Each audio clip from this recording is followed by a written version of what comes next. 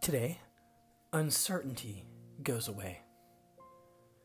In the collective, there's an overwhelming vibe of uncertainty mixed with the expectations that things will normalize. It's an energy of longing for the known. So we work together to raise the vibration so we can all find some solace in the unknown. If you knew the outcome of all situations in advance, it would nullify the reason to experience them. Most choices we make are based upon pain avoidance, and so we rarely make it our first selection to stack on more pain. It has to be delivered to us. The world has and is changing further. Know that you can always rely on things outside of you to change. But that is not much to hang your hat on if one minute the hat stand is there and the next it's not. But you can always rely on you.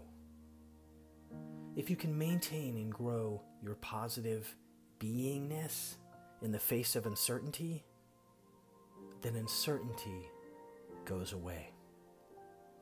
Take a moment and feel what I'm sharing with you, and then set your intentions.